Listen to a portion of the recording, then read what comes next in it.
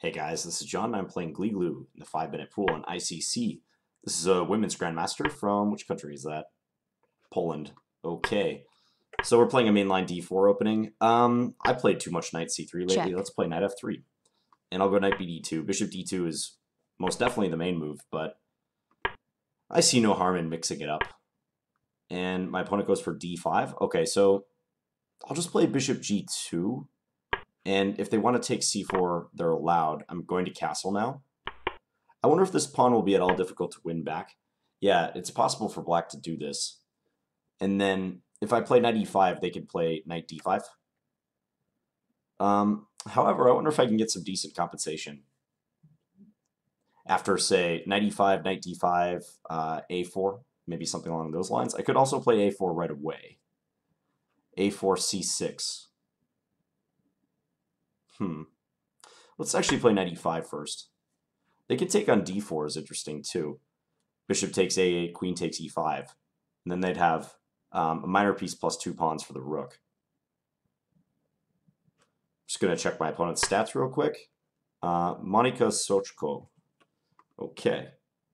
I think married to uh, Grandmaster Bartosz Soćko. They might be the strongest chess playing couple in the world, perhaps. Well, actually, Zhukova and Grischuk probably have that title locked up, but this one's pretty strong too. All right, so knight d5. Um, if a4 is B, is c3 a problem? Mm, no, I think it's okay for now. Um, I'm actually going to play knight e4 though. Just trying to get this knight out of the way so I can develop the dark square bishop. Maybe this knight can jump into c5 later. She plays bishop b7. Let's go a4. a6 is possible. Mm-hmm. That stops uh, the bishop from being blunted. I wonder if knight c5, though. Knight c5, bishop takes, pawn takes, queen e7. Or maybe just b3 right now. b3 is also entirely playable, I think. Uh, b3, knight c3, take. Bishop takes g2, king takes g2, takes c3. Mm, yeah, not sure about that line. All right, let's go queen c2. Maybe I can get something going against h7, like knight g5 becomes a possibility. I'm in completely unknown territory. Um, f6, yeah. Suppose that makes sense. Well, let's just go back to f3. No use really thinking about it too much. Hmm. So that's frustrating my attempt to play this knight c5 move. I think maybe just b3 now.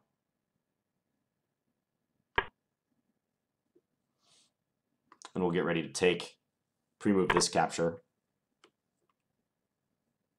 So the big question is, will I get compensation for the pawn? I mean, it's, I have arguably a little bit of compensation right now. I'm not sure it's exactly what I'm looking for. Okay, now I can play knight c5 again if I want, hitting the bishop and hitting the pawn on e6. Knight c5, uh, they can take on a4. But knight c5, bishop takes c5, d takes c5. If knight takes a4, then I have rook takes a4, and the bishop hangs on b7. Let's try that. It looks murky and interesting, so let's go for it. We'll pre-move this capture. Gotta watch my time. If b takes a4, I'll you know just play like queen a2 or something. Maybe queen c2. Would be giving up an additional pawn, but then black's pawn structure is pretty much a mess. Hmm, surprised they're going to do this. Isn't... Hmm. Queen c2 looks pretty good now. Because if knight e7, I have c6. Ah, they have knight b4 then. Knight b4 now? Okay, so if queen b2... Isn't there a problem with these knights? Queen b2, uh, knight here, e4. Hmm. There's knight d3 in that case, I suppose. Let's go here. So if knight 6 to d5, e4, black has a, a problem defending the knights. Knight c3, I can take b4. There's a check e2, but I play king h1. There's a lot of minor pieces stacked on the b file, too. We got to do this. Okay, so she's going to give up the piece. Bishop takes d5 now? Hmm. Okay, so material equality has been restored. I would assume this is pretty good for me. Um, I gotta watch out where this knight can jump to. Okay, how to play this? Bishop a3, maybe? Bishop d2? Well, bishop d2, there's bishop takes f3. Let's play bishop a3. She's going to go a5, however. Okay, let's just get this out of the way. Attacking the a4 pawn. Probably bishop b3 will be the answer. Nope. Hmm. Okay, let's just line up against that pawn on e6. 119, so we got to play faster. Uh, if queen b5, knight d4, queen takes c5, knight takes e6 looks good for me.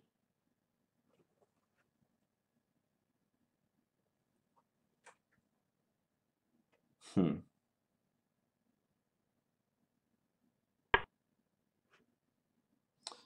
Um, hmm. Knight c2, I didn't see that coming. Oops, a daisy. Okay, what to do now? How am I going to get compensation? uh, all right, I guess we're going to go here, and if knight c2, grab on a5. Try to get play. This will be a imbalance.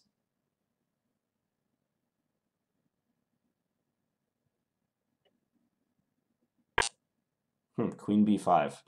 I can take this pawn now.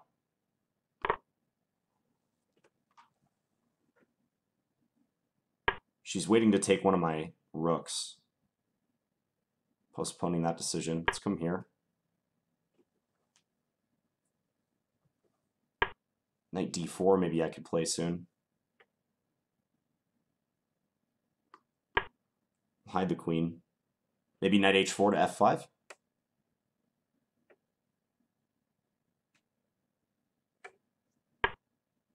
Huh. Yeah, I think knight h4 to f5 looks decent. I'm also opening up my bishop and doing this. If g6, I can sacrifice on g6.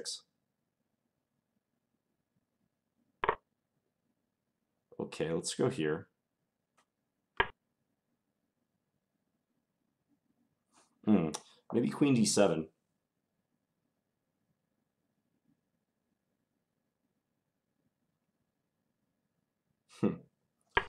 And this is our c6. I had this move. I have an initiative. Actually, how does she deal with this? Because now, yeah, that's Check. losing to this move. Uh-huh. Or it should be losing. Let's pre-move that capture. Check. Go knight c2. Mm, she's going to take here. Okay, so now we're up material. A lot of material, actually. Let's play h4. It's going to be a race against the clock, though. I had bishop e7. I didn't notice. Let's come here and then put the bishop on f6. This should be just decisive.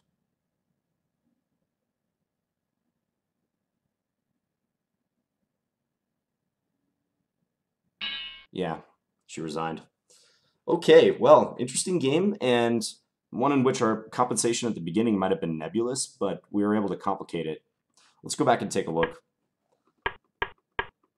So honestly, I just played knight f3 just to mix it up a little bit because I've been getting so many Nimzos lately after knight c3. Check. Um, and then bishop b4 check. This is the Bogo Indian. So bishop d2 is the theoretical move. But um, knight bd2, again, just a way to uh, keep it fresh, keep it offbeat. I don't know the theory um, in this line. Probably, I mean, a3 makes sense. But then again, a3, black will take on d2. And it doesn't seem like black um, has a setup that they would be at all unhappy to play. So hence g3, d5, bishop g2. If I take on d5 in a bid to uh, avoid losing the c4 pawn, then I feel like this knight is completely misplaced on d2. It'll kind of morph into like a QGD sort of position, I guess. Maybe some Catalan qualities to it, but yeah, this knight is, is not very happy on d2. It would much rather be on c3 where it could put pressure on d5 and it's not blocking the dark square bishop. So I'm somewhat forced to play it um, aggressively here. So d takes c4, castles, and then b5. Let's let's sic the engine on this position. Um, I played knight e5, and it would have been interesting to see queen takes d4, as I mentioned. Idea bishop takes a8, queen takes e5, and black's not even down anything, so I can't even say good compensation for black because they do have a minor piece plus two pawns. That's interesting what the engine just pointed out, though, that I could play knight d takes c4 in this position, in between move, opening up queen takes d4. So after queen takes d1, rook takes d1, the rook is still under attack. And I would assume now if this happens, bishop takes a8, and here I am up one point of material, um, and black's pawns are split up. So that would be a big improvement. But I think my opponent played it correctly. She played knight d5, I went knight e4, bishop b7, a4. I was trying to entice black to play c6 and thereby blocking the bishop, but she played a6 instead. Um, here knight g5 is interesting. Okay. Yeah, because that discourages f6 due to the e6 pawn dropping. So maybe I can move in with these knights and get them poised for an attack. If h6, I'm probably forced to continue barreling ahead and take on f7. Rook takes, knight takes, king takes. But then I've given up both my strong attacking knights for a rook and a pawn. Usually that favors the side that has given up the rook and the pawn because now it's like, what am I, what am I attacking black with? F4. Maybe I can get something going with E4 and try to pawn storm, but it's a messy position that looks to be in black's favor. I would rather be black here with all the minor pieces. So, queen c2, maybe trying to eye the h7 square, make knight g5 even stronger. But she played f6, my knight drops back, knight d7, b3. Seemed like right around here, black began to go astray. Knight b6. Yeah, that allowed knight c5, which was good I played this move, so seizing the opportunity to get into this square. Because previously with the knight on d7, um, it controls the c5 square along with the bishop, so maybe just queen e7. Connecting the rooks, perhaps black can later play c5 if they want to get rid of this backward c-pawn. You can see the engine eval. Mean, it's minus one and a half. It still looks kind of like white might have a little something, but objectively black must be better. So knight b6, knight c5, uh, bishop takes, pawn takes. And here knight c4 is much better than taking on a4. So knight c4, if I take b5, a takes b5, rook takes a8, queen takes a8, queen takes b5, I would assume. And now we've reestablished material equality. I'm hitting the knight. The computer claims a small advantage for white, probably based on the bishop pair. But this could have been the lesser of the evils for black. Yeah, it looks like after knight c5, all of white's problems are uh, vanishing. If bishop c8 to guard e6, I mean, at the very least, I think taking here would be decent, but yeah, also probably e4, trying to kick this knight away. Yeah, because then if the knight moves, knight takes e6 is possible. You can go ahead and grab that pawn. So I would pinpoint this move, um, knight to b6, knight 7 to b6 as being the major mistake that black made. So take on c5, b takes a4, queen to c2. Queen b2 is better. What didn't I like about queen b2? Hmm, maybe there's nothing to dislike about queen b2. For some reason, I wasn't thinking about getting this bishop. Although, that's a strange thing not to have thought about. Because I, I even mentioned that a lot of the minor pieces were stacked on the b file, so I don't know why I didn't consider queen b2. I, I know I looked at it, I was comparing the two moves. I thought like maybe a3 would somehow mess us up. Yeah, because if rook takes here and knight c4, but I guess even in this case I could take on b7 and get two minor pieces. Yeah, queen b2 just looks like a better move though, because queen c2 did allow knight b4 with tempo. Fortunately, I have queen b1 here and then e4, which is also good, but maybe the queen b2 move was just better, looks more direct. So uh, to her credit, she quickly realized that she's losing a piece, and she just went about trying to um, make my life as complicated as possible after I win the piece. Uh, here I can play rook takes a4. Didn't see that move. Okay, and the discoveries with the knight are not uh, threatening enough. So, like, if knight a2, I think, yeah, queen a1 is good. We're threatening knight uh, rook takes a2, and there's nowhere the knight can go that's going to damage us. Okay, so rook takes a4 would have been simple, but I played bishop a3 and then a5, and it got a little murky from here. Queen d1, It feels like if black can maintain like the A pawns plus the knight uh, for the next many moves, then they might be able to um, like save an endgame or something. Because when more pieces get exchanged, those A pawns will be valuable. And the A4 pawn's like pretty close to queening. And if ever I take on B4, black obtains two good connected pass pawns. That's why I was a bit hesitant to play bishop A3. I just didn't see where else where the, this bishop should be developed. If bishop D2, then bishop takes F3. I mentioned this line in the game. And queen takes D2 is enabled.